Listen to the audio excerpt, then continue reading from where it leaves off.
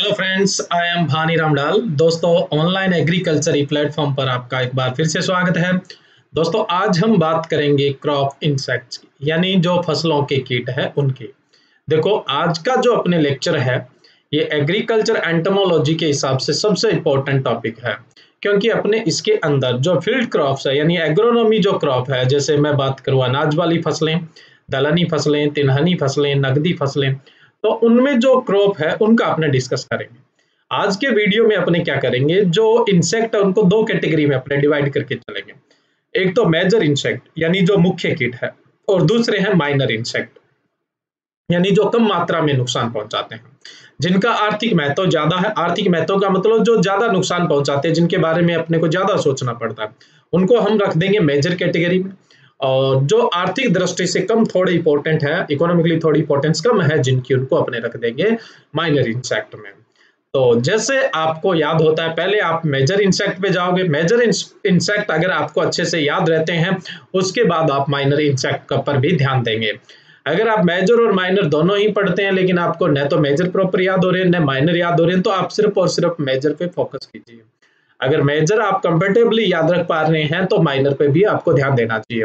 Question major से भी आ सकता है माइनर से भी आ सकता है, लेकिन मेजर जो इंसेक्ट है, यानी जो मुख्य कीट है, उनसे क्वेश्चन ज़्यादा आने के चांसेस रहते हैं। अब देखो अपने क्रॉप वाइज इंसेक्ट स्टार्ट करने से पहले, जो पिछले लेक्चर में अपने बात की थी उनमें से कुछ जो इंपॉर्टेंट बातें हैं, उनको अपने वापस रिवाइज करते हैं, जो अपने इस वीडियो लेक्चर के अंदर काम आने वाली हैं। देखो, इसमें सबसे पहले तो अपने बात करें कि कंप्लीट मेटामॉर्फिस मॉर्फोसिस वाले इंसेक्ट कौन से हैं? कंप्लीट मेटामॉर्फोसिस किसमें होती है? जिसमें क्या होती है? चार स्टेज होती है। चार कौन कौन सी? एग एग के बाद वो किसमें बदलता है? लार्वा के में बदलता है। लार्वा के बाद वो प्यूपा में बदलता है और प्यूपा के बाद वो अडल्ट में बदलता है।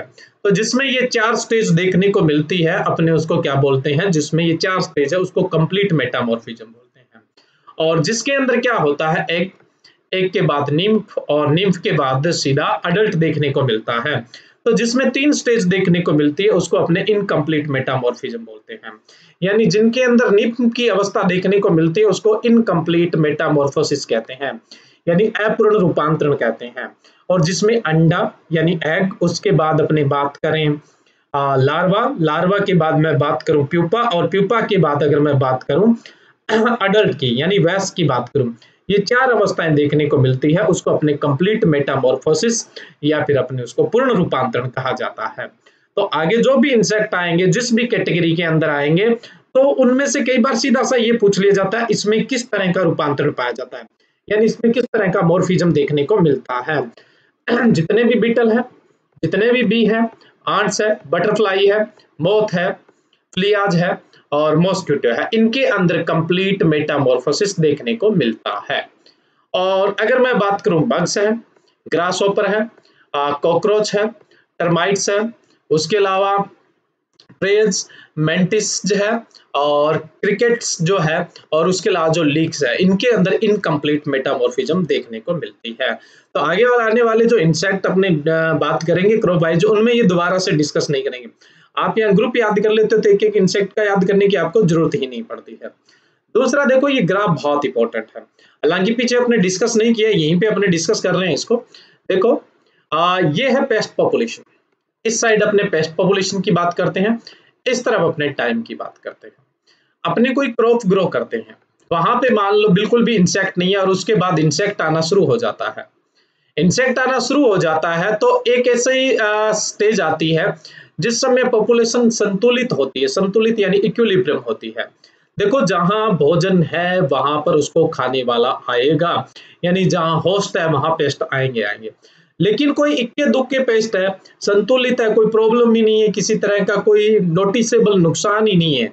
यानी आपको नुकसान दिख रहा है, कोई ऐसा नुकसान ही नहीं दिख रहा है तो वो पॉपुलेशन है इक्विलिब्रियम पॉपुलेशन यहाँ पे आपको कुछ सोचने की ज़रूरत नहीं है।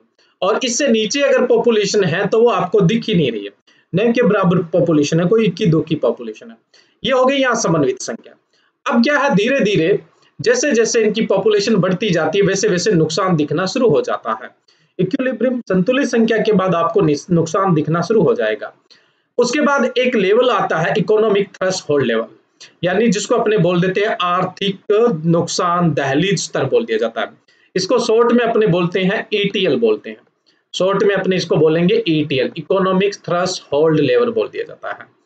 अब देखो, इसका मतलब क्या है? ये लाइन है ईटीएल की इकोनॉमिक थ्रस होल्ड लेवल की।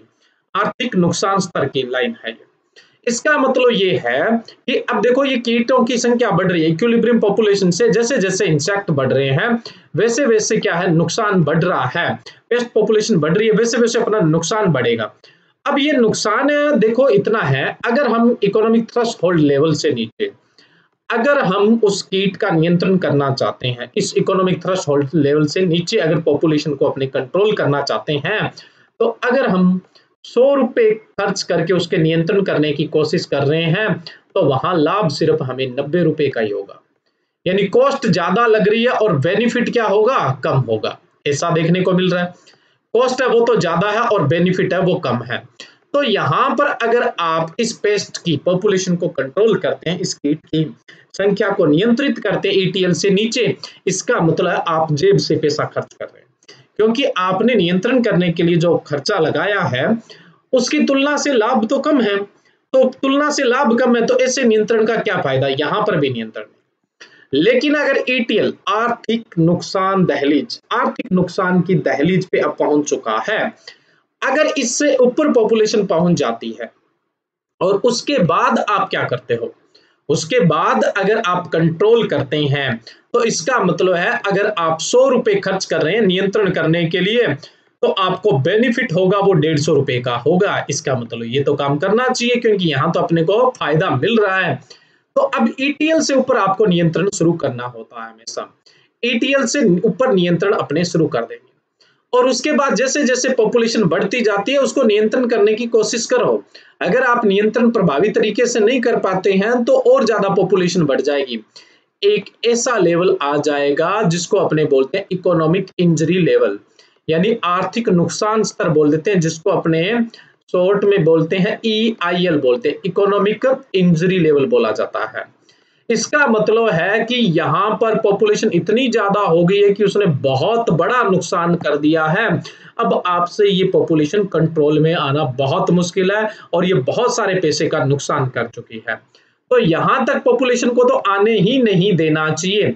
इसका मतलब आपको नियंत्रण कहाँ कर देना चाहिए? ईटीएल से ईआईएल के बीच में कर देना चाहिए। तो हमेशा कीटों का जो कंट्रोल है, यानी जो इंसेक्ट का कंट्रोल है, वो हमेशा ईटीएल से लेकर ईआईएल के बीच में किया जाता है। और यहाँ अपने पॉपुलेशन को नियंत्रित करके कोशिश ये की जाती है कि पॉपुलेशन जो है, वो इकोनॉमिक थ्रस्ट होल्ड लेवल से नीचे रहे। अब क्वेश्चन किस तरह से पूछा जाता है एग्ज़ाम में? इस तरह से पूछा जाएगा कि जो इंसेक्ट है, कीट जो है, उनका नियंत्रण आपको कहाँ करना चाहिए? तो ईटीएल से लेकर ईआईएल के बीच में आपको नियंत्रण करना चाहिए। पॉपुलेशन किससे? नीचे रहनी चाहिए जब हमें लाभ मिलेगा ईटीएल से इकोनॉमिक थ्रस्ट होल्ड लेवल से। आर्थिक दहलीज नुकसान स्तर से नीचे पॉपुलेशन होगी, तब हमें लाभ मिलेगा।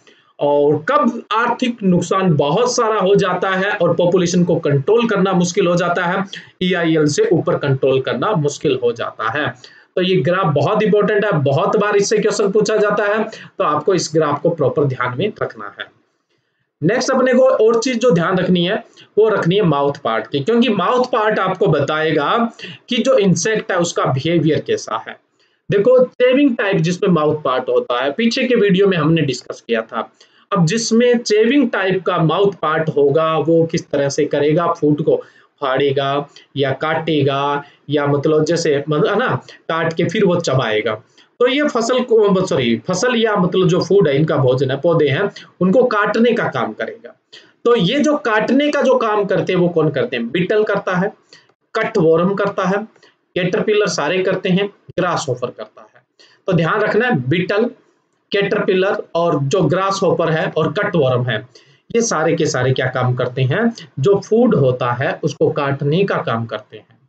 नेक्स्ट अपने ध्यान रखना है piercing and sucking type mouth part जिसमें पियर्सिंग और सकिंग टाइप यानी जो अंदर डालेंगे अपने माउथ पार्ट को, पंचर करेंगे फ़ूड मतलब जो पौधे किस्ता है उसको, और उससे रस चूसेंगे। यानी ये सकदा से यानी जो भोजन है, पौधा है या होस्ट है, उससे रस चूसने का काम करेंगे। ये कौन कौन करेगा? एफिड करेगा। मिली बग करेगा, माइट्स करेंगे, स्केल इंसेक्ट करेंगे और व्हाइट फ्लाइज करेंगे। ये शक दस यानी रस चूसने का काम करते हैं। ये ध्यान रखना है आपको। उसके अलावा और अपने माउथ पार्ट की बात करें तो और जो माउथ पार्ट है वो है rasping and sucking type of mouth part. ये भी अपने पीछे बात की थी। ये भी रस चूसने का काम करते हैं, जैसे थ्रिप्स है। ये भी रस चूसने का काम करेगा।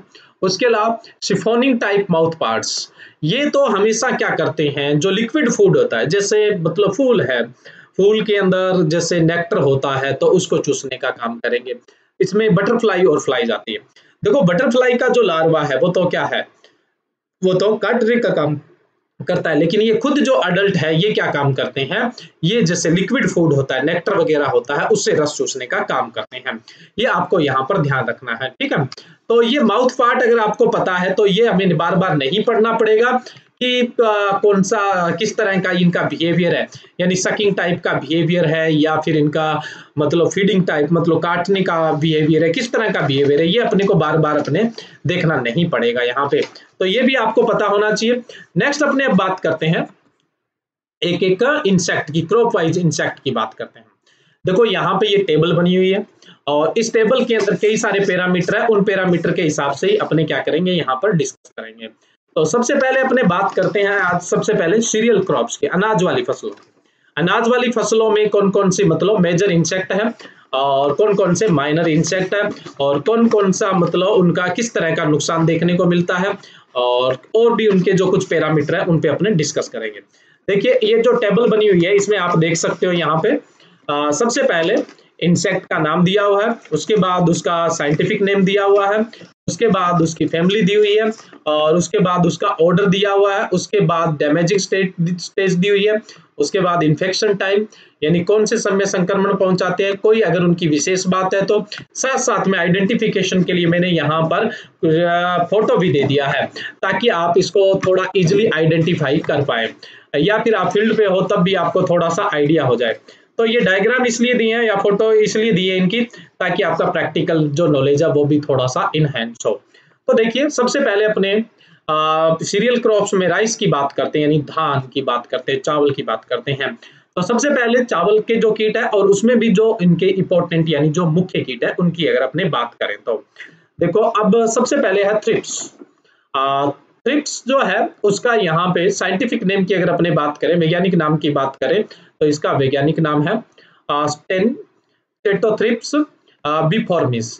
स्टेंचोथ्रिप्स इसका साइंटिफिक नेम है। और फैमिली आपको पता ही होगी थ्रिपिडिया ही होती है। और ऑर्डर जो होता है, वो होता है थाइसेनोपटेरा होता है।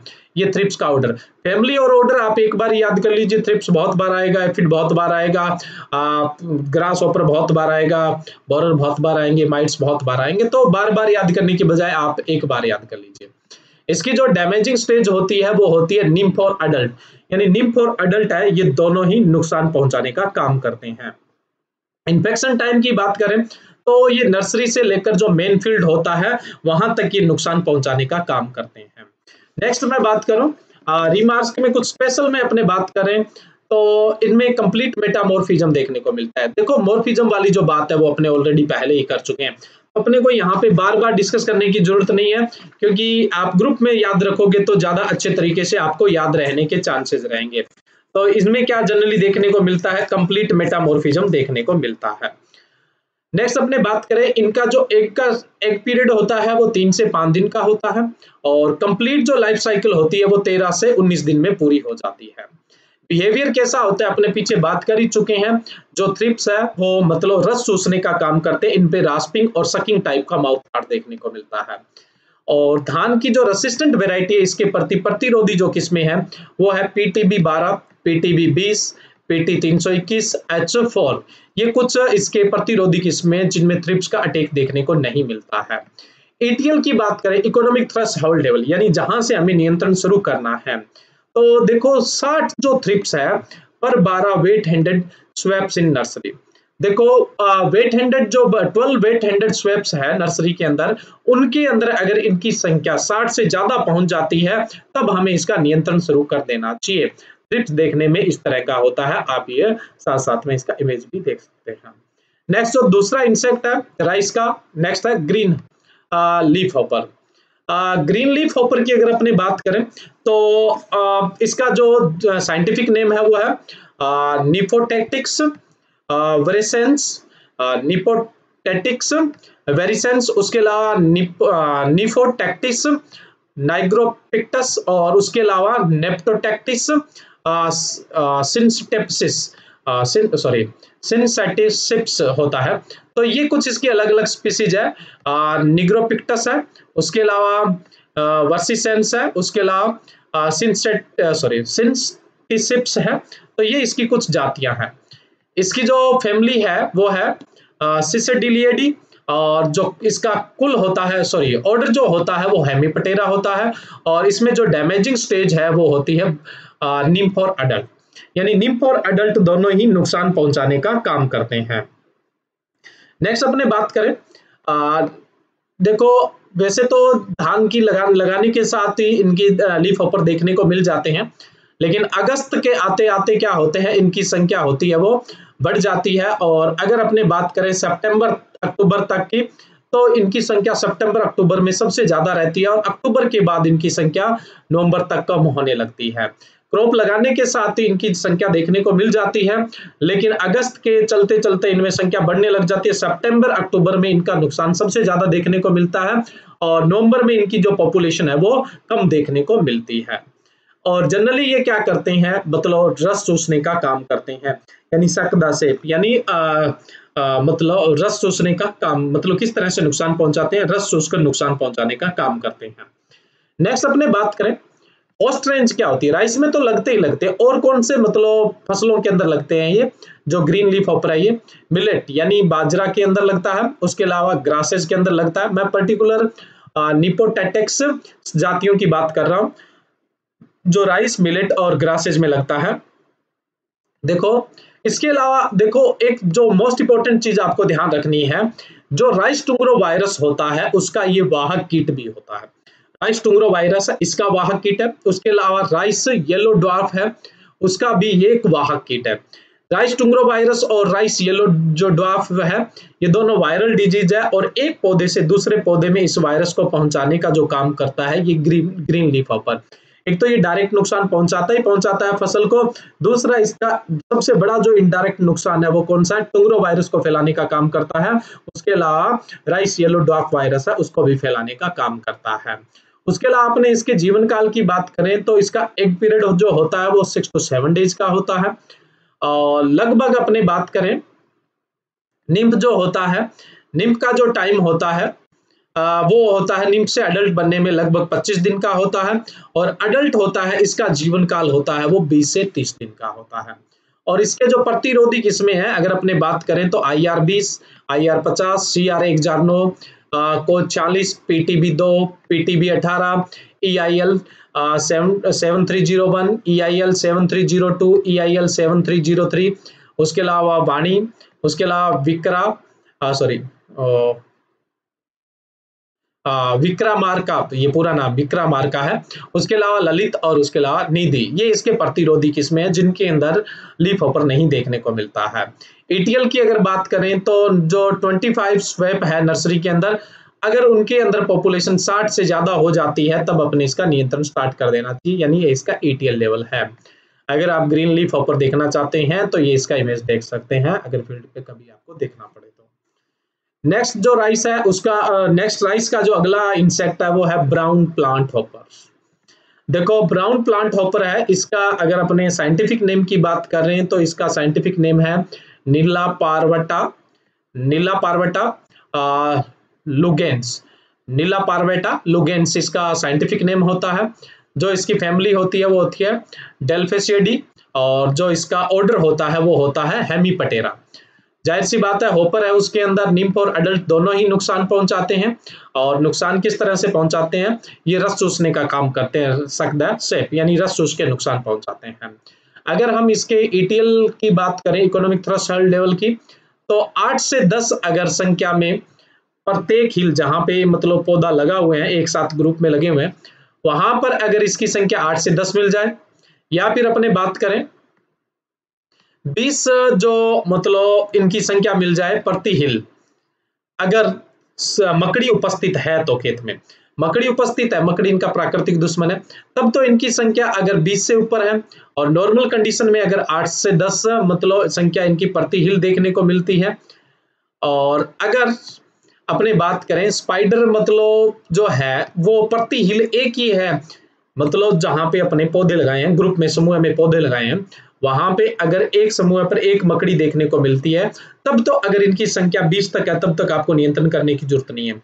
अगर मकड़ी नहीं है तो आपको नियंत्रण करना कब स्टार्ट कर देना चाहिए? आठ से दस इनकी एक हिल पे संख्या होते इनका नियंत्रण स्टार्ट कर देना चाहिए। अब देखो, ये डायरेक्ट नुकसान तो पहुंचाता ही पहुंचाता है, इसका इमेज आप देख सकते हो। उसके अलावा ये क्या करता है, कुछ जो डिज़ीज़ है, उनको एक पौधे से दूसरे पौधे में फैलाने का काम करता है। जैसे ग्रेसी स्टंट वायरस है रेड स्टंट वायरस है, विल्टेड स्टंट वायरस है तो ये जो तीन डिज़ीज़ है, इनको एक पौधे से दूसरे पौधे में भी ये फैलाने का काम करता है। कौन कौन से डिज़ीज़ को? Grassy stunt virus, red stunted virus और विल्टेड जो स्टंट वायरस है, उनको एक पौधे से दूसरे पौधे में फैलाने का काम करता है। नेक्स्ट अपने बात करें कि राइस के अलावा और किसमें ये नुकसान पहुंचाता है? शुगर केन के अंदर और ग्रासेज के अंदर नुकसान पहुंचाता है। और लगभग अपने बात करें तो इसकी जो फीमेल होती है वो 200 से 300 अंडे देती है। एग का जो समय होता है वो लगभग छह दिन का होता है। निप का समय होता है वो पंद्रह दिन का होता है। और अडल्ट का जो टाइम होता है वो 18 से 20 दिन का होता है। तो ये इनकी टोटल लाइफ होती है। लगभग ये मान के चलो कि 35 से 40 दिन के आसपास की इनकी लाइफ होती है। नेक्स्ट अपने बात करें, इसके प्रति जो रेसिस्टेंट वेराइटी है, बहुत सारी इसके प्रति रेसिस्टेंट वेराइटी जैसे अरुण है। आ, उसके अलावा कर्नाटका है कार्थिका है कृष्णा बन्नी है मेकोन है अब्बे है आशा है दिव्या है प्रेथ्री सीओ बयालीस सीओ छियालीस पीटीबी इक्कीस ज्योति पीटीबी तैतीस Mansarovar Bhadra E I L sorry I A I T है E I L I E T पचहत्तर पचहत्तर आई ई टी तिरसठ पंद्रह एम टी यू बारह उनचास आर छः सौ पचास, आर अठारह सौ बीस, उसके अलावा सरेक्सा अरविंदर, कार्तिक, उसके अलावा भारती दासन, उसके अलावा नीला, उदय, सोनसाली, वज्राम, चित्याना, नागार्जुन नागार्जुन और चंदाना। ये कुछ इसकी वेराइटी है जो इसके प्रतिरोधी होती है। वैसे यहाँ इतनी ज़्यादा प्रतिरोधी या रेसिस्टेंट वेराइटी वो नहीं पूछी जाती है। ज़्यादा याद रखने की आपको ज़रूरत नहीं है। रेसिस्टेंट वेराइटी पर्टिकुलर अपने इस इंसेक्ट के लिए तो आप पता याद रखिए, कोई विशेष रूप से नहीं पूछी जाएगी। लेकिन यहाँ पे मैं आपको साथ में मैंशन कर देता हूँ भी हाँ ये इसके रेसिस्टेंट वेराइटी भी है। नेक्स्ट अपने बात करें। अगला जो राइस का इंसेक्ट है वो है white back plant hopper white back plant hopper इसका इमेज देखना चाहते हो तो आप इसका इमेज देख सकते हो। और इसके अगर साइंटिफिक नाम की अपने बात करें तो सोगाटेलिया फ्रिसिफेरा सोगाटेलिया फ्रुसिफेरा इसका जूलॉजिकल नेम है और इसकी जो फैमिली है वो है डेल्फिसिडी और जो इसका ऑर्डर है वो है हेमीपटेरा नुकसान हो पर है, ज़ाहिर सी बात है निम्फ और अडल्ट दोनों ही नुकसान पहुंचाते हैं। इसकी जो हॉस्ट रेंज है राइस के अलावा मेज भी है मिलट भी है शुगर केन है ग्रासेस है। इसका जो एग पीरियड होता है, वो सिक्स टू सेवन डेज़ होता है। निम्फ का पीरियड बारह से सत्रह दिन का होता है। और लगभग इसकी जो फीमेल होती है, उसकी जो लॉन्गविटी होती है, वो टू मंथ के आसपास, दो महीने के आसपास की होती है, अगर अडल्ट की अपने बात करें तो। इसके जो रेसिस्टेंट वेराइटी है, वो है ए आर एक सौ तैतीस आई सी पच्चीस, छह सौ सत्यासी टेंगनेर एमलेबेरो एच के आर दस एच के आर एक सौ छब्बीस I L sorry I E T इक्यासी सोलह है। तो ये इसके लिए कुछ रेसिस्टेंट वेराइटी है। नेक्स्ट जो राइस का अगला जो इंसेक्ट है वो है राइस ईयर हेड बग देखो राइस ईयर हेड जो बग है, देखने में ये इस तरह का देखने को मिलता है। बग जो होता है, दिखने में इस तरह का दिखता है। और ये इसमें अपने पीछे बात की थी। इसका जो नेचर होता है, नुकसान पहुँचाने का, वो सकदा सेप होता है, यानी पियर्सिंग एंड सकिंग टाइप के माउथ पार्ट होते हैं। जो प्लांट होता है उसके अंदर अपना मतलब ये माउथ पार्ट होता है उसको प्रेस करता है पंचर करता है और उससे रस चूसने का काम करता है ठीक है? और इसके अंदर जो आ, अपने बात करें रूपांतरण देखने की बात करें या मोर्फिज्म की बात करें तो इनकम्प्लीट मेटामोर्फिस देखने को मिलता है। अब इसका साइंटिफिक नेम की बात करें तो आ, इसका साइंटिफिक नेम है लेप्टोकोरिसा एक्यूटा लेप्टोकोरिसा एक्यूटा इसका साइंटिफिक नेम है। इसकी जो फैमिली है वो है एलिडियाई और जो इसका ऑर्डर होता है वो हेमीपटेरा होता है और इसमें जो नुकसान पहुंचाता है वो निम्फ और अडल्ट दोनों ही नुकसान पहुंचाते हैं। एटीएल की बात कर तो पाँच बग प्रति सौ पेनिकल यानी जो राइस में पेनिकल निकलते हैं, दाने वाले तो अगर पर पेनिकल लगभग इसकी संख्या हो जाती है सो पर सौ सौ पेनिकल पर इनकी संख्या पाँच हो जाती है, या फिर अपने बात करें, एक बग एक हिल पे हो जाता है फ्लावरिंग स्टेज की अगर अपने बात करें तो। और मिल्किंग स्टेज की अगर अपने बात करें तो 16 बग 16 बग अगर 100 पेनिकल पर हो जाते हैं या फिर एक हिल पर तीन बग हो जाते हैं, तब अपने इसका नियंत्रण कर देना चाहिए। फ्लावरिंग स्टेज तक तो 100 पेनिकल पर पाँच बग है और एक हिल पर एक बग है, तब नियंत्रण शुरू कर देना चाहिए। लेकिन अगर मिल्किंग स्टेज आ जाती है तो 100 पेनिकल पर अगर 16 बग है और अगर एक हिल पर तीन बग है, तब अपने को नियंत्रण स्टार्ट करना चाहिए। नेक्स्ट अपने बात करें होस्ट रेंज की इसकी। तो ये राइस के अलावा मिलेट्स यानी बाजरा को नुकसान पहुंचाता है। अपने बात कर चुके हैं इनकम्प्लीट मेटामोर्फिज्म होता है। सकदा सेप यानी रस चूसने का काम करता है। और इससे जो इल्ड का नुकसान होता है, यानी जो उत्पादन में कमी आती है, वो 10 से 40 परसेंट तक आ जाती है। नेक्स्ट अपने बात करें, इसका जो एग पीरियड होता है, वो पाँच से आठ दिन का होता है। और जो निम्फ का टाइम होता है, वो सत्रह से सताइस दिन का होता है। और जो अडल्ट होता है, वो काफ़ी दिन जीवित रहता है, लगभग तीस से पचास दिन का इसके अडल्ट का टाइम होता है। अब राइस में अगले इंसेक्ट की अपने बात करें तो मिली बग अगला जो इंसेक्ट है मिली बग इसके अंदर भी आपने बग की बात की थी। बग के अंदर इनकम्प्लीट मेटामोर्फिस होता है और बग जो होते हैं, इनका जो नेचर होता है, नुकसान पहुँचाने का, वो किस तरह का होता है? सक वैसे यानी रस चूसने का काम करते हैं। इनमें जो माउथ पार्ट होते हैं, वो पियर्सिंग एंड सकिंग टाइप के माउथ पार्ट देखने को मिलते हैं। अगर अपने इसके साइंटिफिक नाम की बात करें तो साइंटिफिक नेम है इसका ब्रेविनाना सॉरी ब्रेविनिया नेनिया, ब्रेविनेनिया रेही। ब्रेविनेनिया नेही इसका साइंटिफिक नेम है। और अगर इसके फैमिली की बात करें तो सुडो कोसिडियई फैमिली है और इसका जो ऑर्डर है वो हेमीपटेरा है। अडल्ट और जो निम्फ है, दोनों ही नुकसान पहुंचाते हैं। राइस के अलावा ये ग्रेमिनी जो प्लांट्स होते हैं वीड जो पर्टिकुलर उन पे भी ये नुकसान पहुंचाता है। ये इस तरह का देखने को मिलता है आपको। और इसमें जो एग पीरियड होता है, वो एक से दो दिन का होता है। निम्प सत्रह से चौंतीस दिन का होता है। ठीक है? और नेक्स्ट अपने बात करें, अगला जो राइस का इंसेक्ट है, वो है राइस ब्लैक बग ये भी बग है। निम्प और अडल्ट दोनों ही नुकसान पहुंचाते हैं। और इनकम्प्लीट मेटामोर्फिज्म देखने को मिलता है। और ये रस चूसने का काम करता है। इनमें पियर्सिंग एंड सकिंग टाइप के माउथ पार्ट अपने बात कर ही चुके हैं। और इसका जो साइंटिफिक नेम होता है, वो होता है स्कोटिनीफोरा ल्यूरिडा स्कोटोनीफोरा ल्यूरिडा या स्कोनिटिफोरा कोर्टाटा ये इसकी दो जातियाँ देखने को मिलती है और इसकी जो फैमिली होती है, वो होती है ओडोपीडियई और जो इसका ऑर्डर होता है, वो हेमीपटेरा और नुकसान भी आपको बता दिया, नीम और अडल्ट दोनों ही पहुंचाते हैं इनकम्प्लीट मेटामोर्फिज्म और रस सोचने का काम करते हैं। ईटीएल की अगर अपने बात करें तो टिलर जो होते हैं, अगर अपने उन पे 10 परसेंट तक ये नुकसान पहुंचाता है, तब अपने को नियंत्रण करना चाहिए। या फिर अपने ये कह सकते हैं कि प्रत्येक हिल पर पाँच बग से ज़्यादा दिखे, तब अपने को नियंत्रण स्टार्ट कर देना चाहिए। नेक्स्ट अपने बात करें yellow stem borer yellow stem borer देखो, जो बोरर होते हैं, इनके अंदर कंप्लीट मेटामोर्फिज्म देखने को मिलती है। और इनकी जो कैटरपिलर स्टेज होती है, वो नुकसान पहुंचाती है ज़्यादातर। कुछ में एडल्ट भी पहुँचा देते हैं, लेकिन मेनली कैटरपिलर यानी लार्वा और येलो स्टेम बोरर है, इसका साइंटिफिक नेम है स्केरोफोगिया इंसर्टुलस और इसकी जो फैमिली है, वो है पायरूस्टेडी और इसका जो ऑर्डर होता है, वो लिप्डोपटेरा इंसेक्ट में सबसे ज़्यादा नुकसान पहुंचाते हैं, वो लेप्डोपटेरा ही पहुंचाते हैं। आ, इसकी जो डैमेजिंग स्टेज है वो लार्वा अभी अपने बात कर ही रहे थे कैटरपिलर और लगभग ये नुकसान तीस से अस्सी प्रतिशत तक नुकसान पहुँचा देता है। आ, पौधे के जो सॉफ्ट भाग होते हैं मेनली स्टेम को आ, स्टेम है उसको क्या करता है ये खाने का काम करता है।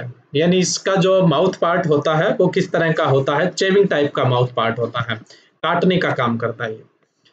आ, इसके जो रेसिस्टेंट वेराइटी होती है वो है रत्ना जेया टी के आई आर बीस आई आर छब्बीस सायाश्री, साकेत आई ई एल इकतीस तेईस I E T sorry I E T है आई एल नहीं आई ई टी इकतीस तेईस आई ई टी अट्ठाईस बारह एम टी यू अठावन उनचास पी टी बी बारह पी टी बी बीस पी टी तीन सौ इक्कीस और एच फोर, ये इसके रेसिस्टेंट वेराइटी है। ईटीएल की बात करें इकोनॉमिक थ्रस होल्ड लेवल की बात करें तो अगर अपने बात करें कि दो egg masses per metre square पे अगर आपको देखने को मिले। आ, या फिर 10 परसेंट डेड हार्ट है वो वेजिटेटिव स्टेज पर देखने को मिले तो आपको आ, इसका कंट्रोल स्टार्ट कर देना चाहिए। अगर अपने फ्लावरिंग स्टेज पे बात करें तो टू परसेंट वाइट ईयर देखने को मिलते हैं तब अपने क्या कर देना चाहिए इसका कंट्रोल स्टार्ट कर देना चाहिए। इंसेक्ट देखना चाहते हो तो आप ये इसका अडल्ट और इसकी जो कैटरपिलर वो दोनों ही देख सकते हैं ये यहाँ पे कैटरपिलर है और ये यहाँ पर इसका अडल्ट है। नेक्स्ट अपने बात करें, अगला जो इंसेक्ट है, वो है अपने गाल मिक्स इसका जो साइंटिफिक नेम है, या अपने बात करें जूलॉजिकल नेम है, वो है ओरिसोलिया ओराइजी और इसकी जो फैमिली है, वो है सिसिडोमाइडियई सिसोमाइडियई है, और इसके जो ऑर्डर है, वो है डिप्टेरा जनरली अपने जो मिज है, अगर उसके नुकसान की बात करें तो ये क्या करता है? प्लांट जो पार्ट होता है, उनको खाने का काम करता है। और देखिए, इसके लिए जो रेसिस्टेंट वेराइटी है, वो है M D U three Saket, Vikram, Surekha, I R छत्तीस ककेटिया धानिया, लक्ष्मी, फाल्गुना, कुंती समलाई, आशा उसके अलावा राजेंद्र, उसके अलावा सर सरकेसा और उसके अलावा ईरा मुल्लू ये साउथ की वैरायटी है, काव्या और गुला और आर छः सौ पचास अठारह बीस। ये कुछ इसके रेसिस्टेंट वैरायटी है, ठीक है? और अगर इसका इंसेक्ट का आप इमेज देखना चाहते हो तो ये इमेज देख सकते हो। और 10 परसेंट जब क्रॉप्स के अंदर सिल्वर सूट देखने को मिले तब अपने इसका कंट्रोल करना चाहिए। यानी इसका कंट्रोल है वो स्टार्ट कर देना चाहिए। नेक्स्ट अपने बात करें अगला जो इंसेक्ट है वो है स्वार्मिंग कैटरपिलर स्वार्मिंग जो कैटरपिलर है आ, अपने इसके साइंटिफिक नेम की बात करें तो स्पोडोपटेरा म्यूरिटिया सॉरी म्यूरिटिया है। स्पोडोपटेरा म्यूरिटिया है, और इसकी जो फैमिली है वो है नोक्टोडियई, और इसका जो ऑर्डर है वो है लेप्डोपटेरा और नुकसान जो पहुंचाता है वो मेगट पहुंचाता है, ठीक है? और अपने बात करें, जो सबसे ज़्यादा नुकसान पहुँचाने का जो टाइम है इसका वो जुलाई से सितंबर है, यानी इसका जो पीक पीरियड है। राइस के अलावा ये मेज, यानी मक्का, ज्वार, गेहूँ, वीट बारले, यानी जो, और गन्ना को भी नुकसान पहुंचाता है। इल्ड में ये 10 से 20 परसेंट तक नुकसान कर देता है, ठीक है? इसका जो माउथ पार्ट होता है, वही चेविंग टाइप का माउथ पार्ट होता है, यानी काटने का काम करता है। ये इसका अडल्ट आप देख सकते ये इसका कैटरपिलर है, यानी मैगट है। नेक्स्ट जो अपना इंसेक्ट है, वो है लीप होडर देखो लीप होडर होते हैं, ये लिप्डोप्टेरा के होते हैं, और इनकी जो कैटरपिलर स्टेज यानी लार्वा स्टेज है, वो नुकसान पहुंचाती है। पहले अपने इसके साइंटिफिक नेम की बात करें तो साइंटिफिक नेम होता है इसका सेना फिला क्रोसिस मेडानालिसिस यानी मेडिनालिसिस ये इसका साइंटिफिक नेम है और इसकी जो फैमिली है वो होती है पायलिडियाई और इसका जो ऑर्डर होता है वो अपने बात कर ही चुके हैं लिप्डोपटेरा और डैमेजिंग स्टेज जो है वो है कैटरपिलर आप ये देख सकते हो यहाँ पे ये इसका अडल्ट है और यहाँ पर इसका कैटरपिलर है। होस्ट रेंज है वो इसके राइस के अलावा, धान के अलावा ग्रासेस में भी नुकसान पहुंचाता है। पूरा इसका जो जीवन काल है वो 25 से 35 दिन का है। और इसकी जो रेसिस्टेंट वेराइटी है वो है T N A U L F R अगर एटीएल की बात करें तो 10 परसेंट अगर वेजिटेटिव स्टेज पर लीफ का नुकसान हो जाता है, तब अपने कंट्रोल करना चाहिए। और अगर अपने बात करें फ्लैग स्टेज पे फ्लैग लीफ जब आती है, उस समय अगर पाँच परसेंट डैमेज हो जाता है, तब अपने इसका कंट्रोल स्टार्ट कर देना चाहिए। रेसिस्टेंट वेराइटियों में कुछ और भी वेराइटी हैं, जैसे T N U L F R sorry तिरासी तेरह ग्यारह उसके अलावा Kaveri Akashi T K M छः आई ई टी पचहत्तर ग्यारह आई टी बानवे पच्चीस आई टी सतानवे सतानवे ए एस डी बीस विसी धान दो सौ इक्कीस पी टी बी बारह पी टी बी बीस पी टी तीन सौ इक्कीस और एच फोर ये इसके रेसिस्टेंट वेराइटी है। एच फोर है, ये बहुत सारे जो इंसेक्ट होते हैं, उनके लिए रेसिस्टेंट होती है।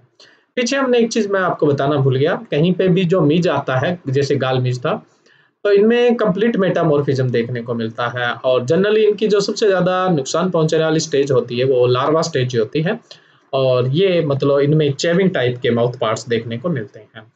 तो ये जो मिज है, ये ध्यान रखना डिप्टेरा का होता है बहुत ही छोटे छोटे इंसेक्ट होते हैं, इसे ब्राइट से कलर के होते हैं, बहुत छोटे साइज़ के होते हैं माइनर साइज़ के होते हैं, बिल्कुल।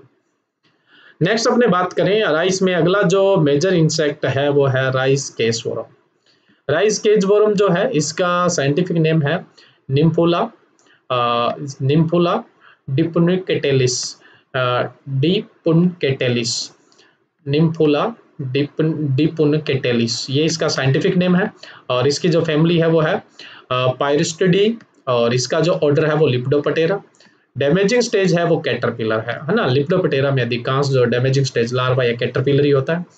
इसके जो टोटल लाइफ होती है, वो उन्नीस से सैंतीस दिन की होती है। और ये प्लांट को मतलब खाने का काम करते हैं चेविंग टाइप के इंसेक्ट होते हैं।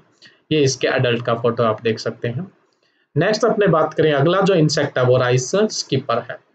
राइस स्कीपर है, ये भी लिप्डोपटेरा की होती है। इनकी लार्वा अवस्था जनरली नुकसान पहुंचाती है। और इनका जो, इसका जो साइंटिफिक नाम है, वो है pelopidas mathias sorry pelopidas mathias pelopidas mathias इसका साइंटिफिक नेम है, और इसकी जो फैमिली है वो है एस्पेरिडियाई और ऑर्डर है वो लिप्डोपटेरा डैमेजिंग स्टेज है वो लार्वा है। राइस के अलावा शुगर केन में भी नुकसान पहुंचाता है, ये इसका अडल्ट है, और ये इसका यहाँ पे लार्वा को देखने को मिल सकता है, यानी कैटरपिलर देखने को मिलता है। नेक्स्ट अपने बात करें, अगला जो मेजर इंसेक्ट है वो है स्पाइन बिटल या राइस हिस्पा जिसको बोल देते हैं। आ, तो जनरली मैं बात करूँ बिटल में चेविंग टाइप के माउथ पार्ट होते हैं और बिटल जो होते हैं इनमें भी कंप्लीट मेटामोर्फिज्म देखने को मिलता है। बिटल जो होते हैं वो कोलियोपटेरा के होते हैं और इनका जो लार्वा होता है उसको अपने गर्भ बोल दिया जाता है। और इसका जो साइंटिफिक नेम है राइस हिस्पा या स्पेनी बिटल जो है इसका डिक्लेडिस्पा आर्मी जेरा डिक्लेडिस्पा आर्मी जेरा होता है और इसकी जो फैमिली होती है वो होती है क्राइसोमिडिलेडी क्राइसोमिलिएडी और जो इसका ऑर्डर होता है वो कोलियोपटेरा डैमेजिंग स्टेज होती है, वो गर्म एंड अडल्ट होता है। इसका एक पीरियड चार से पाँच दिन का लार्वा पीरियड सात से बारह दिन का प्यूपा पीरियड तीन से पाँच दिन का, और एक साल में लगभग इसकी छह जनरेशन पूरी हो जाती है। और इसका जो अडल्ट का आप डायग्राम देखना चाहते हैं तो ये इस तरह का बिटल देखने को मिलता है। चेविंग टाइप के माउथ पार्ट होते हैं, खाने का काम करता है सीधा बाइटिंग का काम करता है। नेक्स्ट अपने बात करें ओवरल मेगट देखो, ये डिप्टेरा का होता है और जो डिप्टेरा के होते हैं, उनके जो लार्वा होता है, उसको अपने मैगट बोल दिया जाता है। और इसका जो साइंटिफिक नेम है, वो हाइड्रिला सासाकी होता है। हाइड्रिलिया सासाकी, इसका साइंटिफिक नेम है। इसकी जो फैमिली है, वो है इफ्रडिएडी और इसका जो नियंत्रण किया जाता है, वो 25 परसेंट ये जब पत्तियों में नुकसान पहुँचा देता है, तब अपने नियंत्रण करते हैं। ये इसका अडल्ट देख सकते हो और ये इसका मैगट देख सकते हो, ठीक है? मैगट यानी इसमें पैर नहीं होते मैगट में कैटरपिलर में बहुत सारे पैर होते हैं गर्भ में थोड़े कम होते हैं। नेक्स्ट अपने बात करें, अगला जो इंसेक्ट है वो है राइस हॉर्नेट कैटरपिलर कैटरपिलर आ गया लेप्डोपटेरा का है, ज़ाहिर सी बात है। मेलेंटिस इसीमेनी इसका जोलॉजिकल नेम है। और इसकी जो फैमिली है वो है स्टेरेडी और जो ऑर्डर है वो लिप्डोपटेरा नुकसान इसकी कैटरपिलर यानी लार्वा स्टेज पहुंचाती है। ये धान के साथ साथ मिलेट को यानी बाजरा को भी नुकसान पहुंचाता है, ये आप देख सकते हो। इसमें ये थोड़ा सा ऊँचा उठा हुआ होता है, सर, इसलिए इसको हॉर्नेट कैटरपिलर बोल दिया जाता है। नेक्स्ट मैं बात करूँ, अगला जो मेजर इंसेक्ट है वो है येलो हैरी कैटरपिलर्स इसमें बहुत सारे ऐसे हेयर येलो कलर के देखने को मिलते हैं, इसलिए येलो हैरी कैटरपिलर बोल दिया जाता है। और इसका साइंटिफिक नेम होता है पेसालिस पिनाटुला और इसकी जो फैमिली होती है, वो होती है लाइमन थ्रेडियाई और जो ऑर्डर होता है, वो लिप्डोपटेरा और जो डैमेजिंग स्टेज होती है, वो कैटरपिलर होती है। राइस के अलावा वीट को भी नुकसान पहुंचाता है और ग्रासेस को भी नुकसान पहुंचाता है। तो ये तो थे राइस के मेजर इंसेक्ट अब कुछ माइनर इंसेक्ट है, थोड़ा जल्दी जल्दी अपने डिस्कस कर लेते हैं, ठीक है? बाकी तो देखो माइनर इंसेक्ट से कम ही क्वेश्चन पूछे जाने के चांसेस है, क्योंकि मेजर भी तो अपने सत्रह के आसपास डिस्कस कर लिए हैं। तो यहाँ पे देखो एंटोमोलॉजी थोड़ा सा टफ तो पड़ता है, क्योंकि इसके साइंटिफिक नेम और फैमिली है ऑर्डर है, वो याद रखना। देखो ऑर्डर याद रखने में तो कोई ज़्यादा दिक्कत नहीं आती। जैसे अपने ग्रुप के हिसाब से याद कर लेते हैं कैटरपिलर लेप्डोपटेरा के अंदर आते हैं, उसके अलावा जैसे अपने बिटल पढ़ते हैं बोरर पढ़ते हैं कौन कौन से ग्रुप में इनको रखा जाता है तो आप इनको देखो, एक साथ याद कर सकते हो। जैसे मैगट है, वो डिप्टेरा में आ जाता है बिटल है, वो कोलियोपटेरा में आ जाते हैं कैटरपिलर है, वो लेप्टोपटेरा के अंदर आ जाते हैं। एफिड है, वो हेमिपटेरा के अंदर आ जाते हैं, बग है, वो हेमिपटेरा के अंदर आ जाते हैं। तो इस तरह से आप इनको याद रख सकते हैं। तो ये याद रखना आपके लिए सिंपल होता है। नेक्स्ट अपने बात करें माइनर जो इंसेक्ट है। अर्थ हेड स्टिंक बग या जिसको अपने सील्ड बग बोल देते हैं, या रेड रेड स्पॉटेड बग जिसको बोल दिया जाता है ना? बग होते हैं, उनमें पियर्सिंग एंड सकिंग टाइप के माउथ पार्ट होते हैं, यानी सकदा से रस चूसने का काम करते हैं। मोर्फिज्म की बात करें तो इनकम्प्लीट मेटामोर्फिज्म होती है।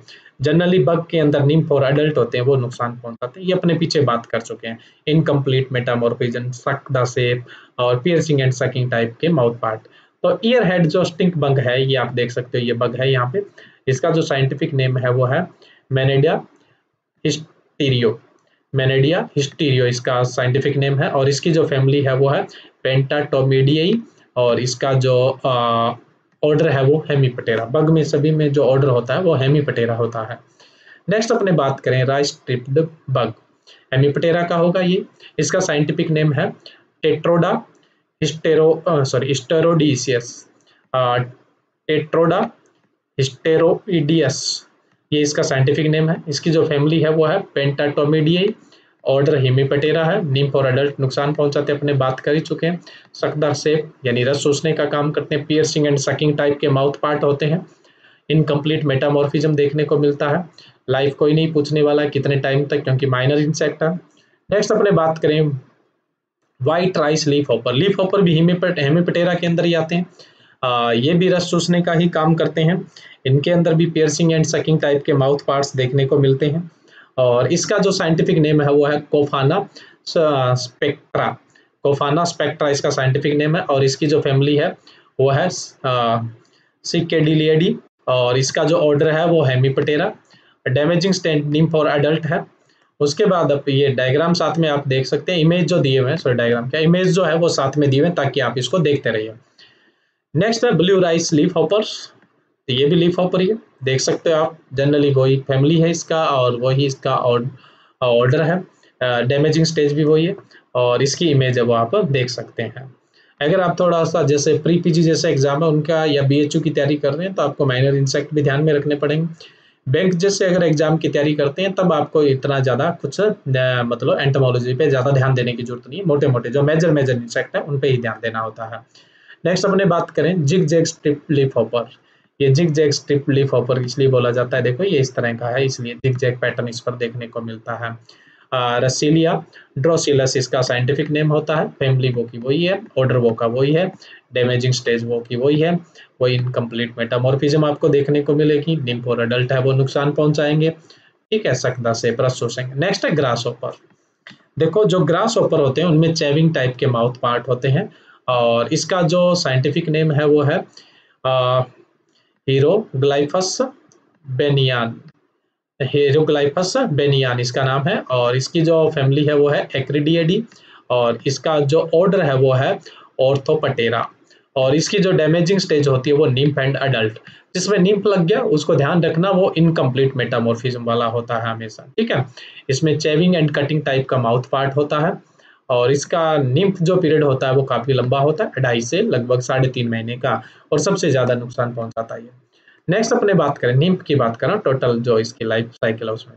नेक्स्ट है short horned grasshopper oxya nitidula oxya nitidula इसका साइंटिफिक नेम फैमिली वो की वही है ऑर्डर वो का वही है डैमेजिंग स्टेन निम्फ और अडल्ट है। और ये सबसे ज़्यादा नुकसान अगस्त और सितंबर में पहुंचाता है। ये आप इसका आ, इमेज देख सकते हो और ग्रास ऑपर जो सिंपल था इसकी भी इमेज देख सकते हो। नेक्स्ट अपने बात करें ब्लू बिटल कोलियोपटेरा के होते हैं। इसका साइंटिफिक नेम है हेलिटिशिया सीएनए और इसकी जो फैमिली है वो है क्राइसोमिलिडी और इसका जो ऑर्डर होता है वो कोलियोपटेरा बिटल सारे कोलियोपटेरा के अंदर ही आते हैं। वीवल भी कोलियोपटेरा के अंदर ही आते हैं। नेक्स्ट है rice root weevil rice root weevil है इसकी दो दो आपको दो तरह के राइस रूट वीवल का नुकसान आपको देखने को मिलता है। एक तो है इकोनोसिनेमस ओराइजी और दूसरा हाइडोनोमाइडस मोलिटोरर और इसकी जो फैमिली होती है, वो होती है क्रूपुलिनियोडी और जो ऑर्डर होता है, वो कोलिपटेरा और इसकी जो गर्भ होती है, वो नुकसान पहुंचाती है मेनली और इसकी जो गर्भ, यानी लार्वा का टाइम होता है, वो 11 महीने का होता है। यानी सबसे जो लंबी स्टेज होती है, वो इसमें लार्वा की स्टेज ही होती है। नेक्स्ट अपने बात करें, अगला जो इंसेक्ट है, वो है rice root grub rice root grub है, इसका जो साइंटिफिक नेम है वो है आर्थोरोडिस स्पेसिस और इसकी जो फैमिली है वो है टेनिबिरिनेडी और जो ऑर्डर है वो है कोलिपटेरा और जो डैमेजिंग स्टेज है वो गर्भ है, ये देख सकते हैं आप। और जिसमें गर्भ लिखा होता है, वो जनरली कोलिपटेरा से ही बिलोंग करते हैं इंसेक्ट के नाम जैसे राइस रूट गर्भ ये मैं एक सिंपल आपको ट्रिक बता रहा हूँ, जिससे आप याद रख सकते हो। तो ये राइस के मेजर और माइनर इंसेक्ट अपने कंप्लीट होते हैं। नेक्स्ट अब राइस के इंसेक्ट कंप्लीट हो गए। नेक्स्ट अपने बात करते हैं। अगली जो सीरियल क्रॉप है सोरगम सोरगम में सबसे पहले अपने मेजर इंसेक्ट की बात करें तो मेजर इंसेक्ट में आता है सोरगम सूट फ्लाई और एक स्टेम बोरर ये दो सबसे मुख्य मतलब इंसेक्ट है इसके। सूट फ्लाई फ्लाइज जो होती है, वो डिप्टेरा में आती है और डिप्टेरा की जो मेगट स्टेज होती है, वो ज़्यादातर नुकसान पहुंचाती है। सबसे पहले अपने इसके साइंटिफिक नेम की बात करें। तो इसका साइंटिफिक नेम है एथेरिगोना स्क्वाटा एथ्रीगोना सोकाटा, इसका साइंटिफिक नेम है। इसकी जो फैमिली है वो है म्यूसिडी, और जो ऑर्डर है वो डिप्टेरा, और जो डैमेजिंग स्टेज है वो है मेगट। ठीक है? ज़्यादातर इसका जो नुकसान है करीब से ज़्यादा समर में देखने को मिलता है। कई जगह जैसे समर में राइस ग्रो किया जाता है सॉरी राइस क्या सोरगम है, वो समर में ग्रो किया जाता है। तो उस समय मतलब गर्मी के टाइम सबसे ज़्यादा नुकसान देखने को मिलता है। हालाँकि करीब की फ़सल, वर्षाकालीन फ़सल में भी इसका नुकसान होता है, लेकिन इससे ज़्यादा समर क्रॉप ग्रीष्म ऋतु की फ़सल में ज़्यादा देखने को मिलता है। इसके अलावा ये मक्का में भी खूब नुकसान पहुंचाता है, रागी में नुकसान पहुंचाता है, बाजरा में अच्छा खासा नुकसान पहुंचाता है। इसके अलावा राइस के अंदर वीट के अंदर और ग्रासेस के अंदर भी नुकसान पहुंचाता है। रेसिस्टेंट वेराइटी की बात करें तो C O one C S H one five R यानी सी एस एच पंद्रह आर उसके अलावा मलदांदी उसके अलावा आगारी एम पैंतीस one Swati S P V चार सौ इक्यानवे आई एस अठारह पाँच सौ इक्यावन आई एस पचपन छियासठ आई एस बावन पिचासी आई एस छप्पन तेरह, उसके अलावा आई सी एस वी सात सौ आई सी एस वी सात सौ पाँच, Phule Yashoda C S H seven C S H eight ये इसके प्रतिरोधी किस्में जिनके अंदर ये नहीं लगता है। सोरगम सूट फ्लाई है। इसकी जो अडल्ट है, वो इस तरह का देखने को मिलता है और इसका जो मेगट यानी वो लट होता है, बिना पैर की लट होती है। नेक्स्ट अपने बात करें स्टेम बोरर ये भी एक इसका मुख्य कीट है और इसका जो साइंटिफिक नेम होता है, वो होता है चिल्लो पार्टिलुस सॉरी पार्टिल, पार्टिलुस। चिल्लो पार्टुलस इसका साइंटिफिक नेम होता है और इसकी जो फैमिली होती है, वो होती है क्रेम्बेडियई और बोरर जो होते हैं, वो अपने पहले ही बात कर चुके हैं लिप्डोपटेरा के होते हैं। इनकी लार्वा स्टेज नुकसान पहुंचाती है। लार्वा बोले तो कैटरपिलर ये देख सकते हो, इसका ये लार्वा है और ये यहाँ पे अडल्ट है। ये ज्वार के अलावा मक्का को, गन्ना को, बाजरा को अच्छा खासा नुकसान पहुंचाता है। उसके अलावा राइस को भी नुकसान पहुंचाता है। फिंगर मिलेट बाजरा का एक प्रकार होता है, उसको नुकसान पहुंचाता है। अगर अपने ईटीएल की बात करें इकोनॉमिक थ्रस होल्ड लेवल की बात करें तो लगभग 10 परसेंट डेड हार्ट देखने को मिले, तब अपने इसका नियंत्रण शुरू कर देना चाहिए। और इसकी जो टोटल लाइफ साइकिल होती है, वो 30 से 40 दिन की होती है। इंपॉर्टेंट है, पहले एग्ज़ाम में पूछा गया है तो ये भी यहाँ पे ध्यान रखना। और इसकी जो रेसिस्टेंट वेराइटी होती है, वो ई तीन सौ दो ई तीन सौ तीन आई एस बाईस ज़ीरो पाँच आई सी वी सात सौ। नेक्स्ट मैं बात करूँ पिंक स्टेम्पोरर ये भी इंपॉर्टेंट है, गन्ना में तो बहुत ज़्यादा नुकसान पहुंचाता है ये। इसका साइंटिफिक नेम होता है सेसेमिया इनफेरेनेंस सेसेमिया सॉरी सेसामिया इनफेरेंस और इसकी जो फैमिली होती है, वो होती है नोक्टोडियई।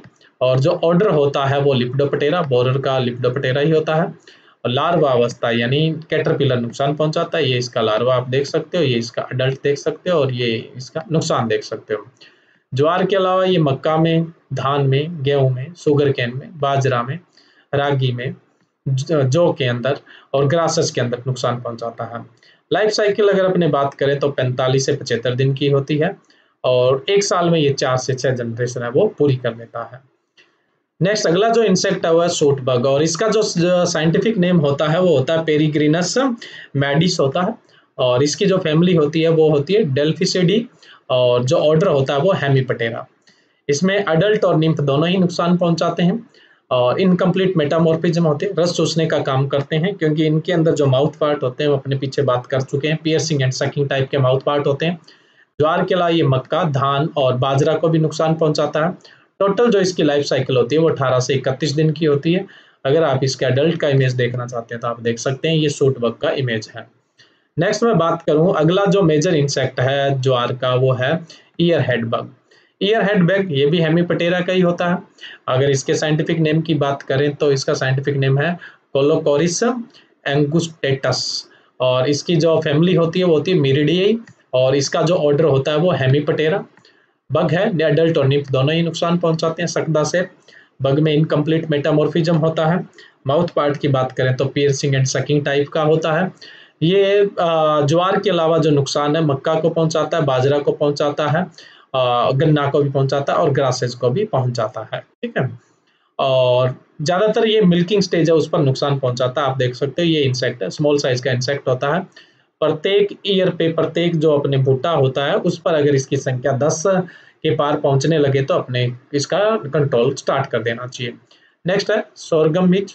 अपने बात की थी कंप्लीट मेटामॉर्फिज्म होती है, ज़्यादातर मैगट स्टेज होती है, वो इसकी नुकसान पहुंचाती है। और अगर अपने इसके साइंटिफिक नेम की बात करें तो इसका साइंटिफिक नेम है कॉन्टेरिनिया कॉन्टेरिन कॉन्टेरिनिया सॉरी कॉन्टेरिनिया सोर्गी कोला होता है और इसकी जो फैमिली होती है वो होती है कैसिडोमिएडी होती है और जो ऑर्डर होता है वो डिप्टेरा होता है। मेगट स्टेज इसकी नुकसान पहुंचाती है कंप्लीट मेटामोर्फिज्म होता है आ, मतलब चेविंग टाइप के माउथ पार्ट इसमें देखने को मिलता है। और ज़्यादातर सोरगम या उसकी जंगली जातियों में नुकसान पहुंचाता है। और इसकी जो जनरेशन है वो चौदह से सोलह दिन में पूरी हो जाती है। और अपने बात करें इसके रेसिस्टेंट वेराइटी की तो डीजे पैंसठ इकतालीस है ए एफ़ अट्ठाईस है आई सी एस वी एक सौ सतानवे है आई सी एस वी एक सात सौ पैंतालीस है आई सी एस वी अट्ठासी ज़ीरो बत्तीस है। आप देख सकते हो, ये बिग छोटा इंसेक्ट होता है, बिल्कुल ये नेक्स्ट अपने बात करें, अगला जो मेजर इंसेक्ट है वो है प्लेंट लीक यानी इसको अपने एफिड बोलेंगे। इसके दो तीन अपने आपको दो तीन तरह के प्लांट लीक्स देखने को मिल जाती है। एक तो है अपने रोफलोसिफम मेडियस और दूसरा है मिलानाफिस स्केरी ये दो मेनली प्लांट लीक देखने को मिलते हैं। एफिडी जो फैमिली है, उससे बिलोंग करते हैं। एफिड हेमीपटेरा में ही आता है। अडल्ट है, वो मतलब रस चूसने का काम करता है। उसके अलावा अपने बात करें तो जो होस्ट रेंज है वो इसकी सोरगम के अलावा मक्का को भी नुकसान पहुंचाता है, रागी को भी नुकसान पहुंचाता है। इसके अलावा एक जो सबसे बड़ा नुकसान ये करता है इनडायरेक्टली ये डॉप मोजिक वायरस को इधर उधर फैलाने का काम करता है। ध्यान रखना है, ज्वार के अंदर डॉप मोजिक वायरस है, उसको फैलाने का काम एफिड करता है, यानी अपने प्लांट लिक भी बोल देते हैं। और इसकी जो लाइफ साइकिल है वो साढ़े पाँच से सात दिन की होती है गर्मियों में। अगर ठंडे दिन है तो ये जो लाइफ साइकिल है वो तेरह से बीस दिन की हो सकती है।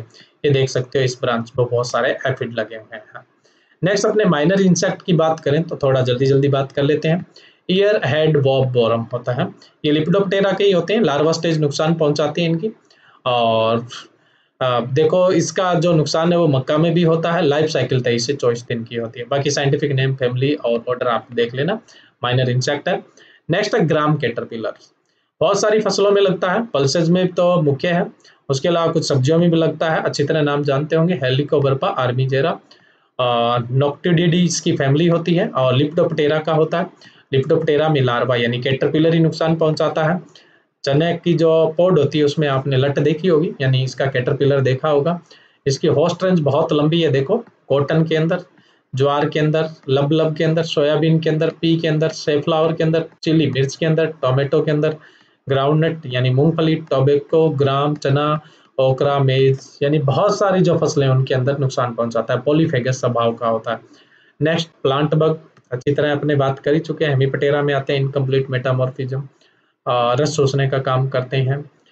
और इसका साइंटिफिक नेम है डोलिकोरिसम इंडिकस बाकी इसकी जो फैमिली है, वो है पेंटाटोमीडियई और बग अपने पहले पढ़ ही चुके हैं। हेमीपटेरा में आते हैं। स्टिंक बग नाजारा विरिडुला इसका साइंटिफिक नेम है फैमिली सेमी है ऑर्डर सेमी है। नेक्स्ट अपने बात करें मिरिड बग इसका जो साइंटिफिक नेम है वो है श्रीनोटेडस पेलिडिफेरा और इसकी जो फैमिली है मिरिडी है और ऑर्डर सेमी है हेमीपटेरा नुकसान भी सेमी स्टेज पहुंचाती है निम्फ एंड अडल्ट साथ साथ में आप इनकी इमेज भी देख सकते हैं। उसके अलावा मैं बात करूँ तो स्लग कैटरपिलर कैटरपिलर है तो लेप्डोपटेरा का है, इसका साइंटिफिक नेम है थोसिया एपिरिनस और इसकी जो फैमिली है वो है कोचिलिडियई, और जो ऑर्डर है वो लिप्डोपटेरा अडल्ट है वो भी नुकसान पहुंचाता है लार्वा है वो भी नुकसान पहुंचाता है। तो अडल्ट है वो इसमें ज़्यादा अटैक करता है और डिफोलिएशन कर देता है, आप इसका ये अडल्ट देख सकते हो। Next leaf roller leaf roller होता है, ये भी लिप्डोपटेरा को होता है लार्वा स्टेज लट होती है, वही नुकसान पहुंचाती है कैटरपिलर यानी। और इसकी जो फैमिली होती है वो पायरिलिडी होती है, और इसका साइंटिफिक नेम है मार्सीमिया ट्रापीजेलियस नेक्स्ट अपने बात करें फ्लिया बीटल बहुत सारा जो क्रॉप है, उनके अंदर लगता है, कई तरह की इसकी जो जीनस और स्पीसीज है, वो देखने को मिलता है। जैसे मोनोलेप्टा सिग्नाटा भी देखने को मिलता है। उसके अलावा क्राइपोटिसिफिलस स्केटिली इसके सॉरी स्केटेडी देखने को मिलता है। इसकी जो फैमिली होती है, वो क्राइसोमिलिडी होती है और ऑर्डर होता है, वो कोलियोपटेरा होता है। बिटल का जो ऑर्डर होता है, वो कोलियोपटेरा ही होता है। माउथ पार्ट आपको बताया कि किस तरह का होता है, चेविंग टाइप का होता है और जो मॉर्फिज्म देखने को मिलता है वो कंप्लीट मेटामॉर्फिज्म देखने को मिलता है और डैमेजिंग स्टेज होती है, लार्वा और अडल्ट दोनों ही होती है, लेकिन लार्वा यानी गर्भ होती है, वो ज़्यादा नुकसान पहुंचाती है। नेक्स्ट है रेड हेरी कैटरपिलर रेड हेयर कैटरपिलर बहुत सारी क्रॉप्स में लगता है हॉस्ट रेंज काफ़ी लंबी है इसकी, जैसे मक्का है, ज्वार है ग्रीन ग्राम मूंग है, तिल है बाजरा है, उसके अलावा नाइगर है मिलेट है बाजरा है ग्राउंड नट मूंगफली है सन है, केस्टर है कॉटन है ये। और अगर इसके 100 मीटर में आठ से ज़्यादा अंडे देखने को मिलते हैं तब अपने इसका नियंत्रण शुरू कर देना चाहिए। और राजस्थान में तो ये एक खतरनाक इंसेक्ट है बाकी और जगह तो ये मतलब माइनर इंसेक्ट में आता है सोरगम के अंदर ज्वार के अंदर लेकिन राजस्थान में ये काफ़ी नुकसान पहुंचाता है। और जो पल्सेज होती है सॉरी पल्सेज क्या लेग्यूम जो होती है, उनमें सबसे ज़्यादा ग्राउंड नट को ये नुकसान पहुंचाता है राजस्थान में। और इसका जो साइंटिफिक नेम है, वो आप अच्छी तरह याद रख लेना, पूछ भी लिया जाता है कई बार। अमास्कटा एल्बिस्टेरिका है, उसके अलावा एमास्कटा मोरेई भी है, और इसकी जो फैमिली है, वो है आर्किडियडी और इसका जो ऑर्डर है लिप्डोपटेरा और इसकी जो नुकसान पहुंचाता है लार्वा यानी कैटरपिलर स्टेज नुकसान पहुंचाती है, आप देख सकते हो। इसके हेयर थोड़े रेड कलर के होते हैं, इसलिए इसको रेड हेयरी कैटरपिलर बोल दिया जाता है। उसके अलावा और इंसेक्ट की बात करूँ तो सेमिलुपर है। इसका साइंटिफिक नेम होता है यूबिलिमा सिलिकुला और इसकी जो फैमिली होती है, वो होती है नोक्टोडी और लिप्टोपटेरा का होता है लार्वा यानी जो इसका कैटरपिलर है, वो नुकसान पहुंचाता है। काफ़ी इसकी लंबी होस्ट रेंज है, बहुत सारी क्रॉप्स में नुकसान पहुंचाता है। ईयर हेड प्रत्येक मतलब जो बूटा है उस पर दो से ज़्यादा संख्या में देखने को मिले कैटरपिलर तो अपने इसका नियंत्रण शुरू कर देना चाहिए। नेक्स्ट है विवल आ, ये अपने बात करें पर्टिकुलर एस विवल देखो विविल जो होते हैं कोलिपटेरा के ही होते हैं। इसका जो साइंटिफिक नेम है वो है माइलोसिरस मेकुलोसस और माइलोसिरस डिस्कोलरस और माइलोसिरस सबसीटुटस मतलब कई जाते हैं इसके। और इसकी जो फैमिली है वो क्रुकलिनोइडी है सॉरी क्रुकलिनोडी है और जो ऑर्डर है वो कोलीपटेरा है। और अगर अपने बात करें तो गर्भ है, वो तो रूट को नुकसान पहुंचाती है। और अडल्ट जो होता है, वो मतलब फोलियज भाग, पत्तियाँ होती है, उनको नुकसान पहुंचाता है। बाजरा में, मक्का में, ज्वार में, सभी दलहनी में लेग्यूम फ़सलों में, जैसे ग्राउंडनट है कॉटन में, कपास में और गुआवा में। कई बार आएगा ये एस वीवल बोल देते हैं अपने इसको, ये नुकसान पहुंचाता है। कई जातियाँ हैं इसकी। नेक्स्ट अपने बात करें विंगलेस ग्रास ओपर इसकी भी हॉस्ट हॉस्ट रेंज काफ़ी लंबी है, इसका निम्फ है, वो भी नुकसान पहुंचाता है और अडल्ट है, वो भी नुकसान पहुंचाता है। ठीक है? निम्फ होता है, वो ग्रोविंग स्टेज पे इनिशियल स्टेज पे नुकसान पहुंचाता है और जो अडल्ट होता है, वो फ्लावरिंग स्टेज पे नुकसान पहुंचाता है। विंगलेस ग्रास ओपर है, कई आगे क्रॉप्स है, उनके अंदर आएगा। तो इसका जो साइंटिफिक नेम है, वो है कोलिमियाना स्पेनोरोइडस और जो इसकी फैमिली है वो है ऑर्थोपटेरा और जो इसका ऑर्डर है वो है एक सॉरी ऑर्डर है वो है ऑर्थोपटेरा और जो फैमिली है वो है एक्रेडिएडी और निम्फ और अडल्ट इसके दोनों ही नुकसान पहुंचाते हैं। आगे कई क्रॉप्स में आएगा। तो आज के अपने इस वीडियो के अंदर अपने डिस्कस किया है राइस और सोरगम के जो इंसेक्ट है। यहाँ थोड़ा अपने को टाइम लगा है। आगे इतना टाइम नहीं लगेगा, क्योंकि बहुत सारे इंसेक्ट वो रिपीट होंगे जो पॉलीफेगस नेचर के हैं। तो इतना मतलब ज़्यादा टाइम नहीं लगेगा। ये दो अगर क्रॉप अपने ढंग से पढ़ लिए शुरू वाली तो बहुत सारे इंसेक्ट है वो तो बार बार रिपीट होते रहने हैं। तो नेक्स्ट क्रॉप के अंदर जो बची हुई सीरियल क्रॉप्स है ऑयल सीड क्रॉप्स है, उन पर अपने डिस्कस करेंगे। Thank you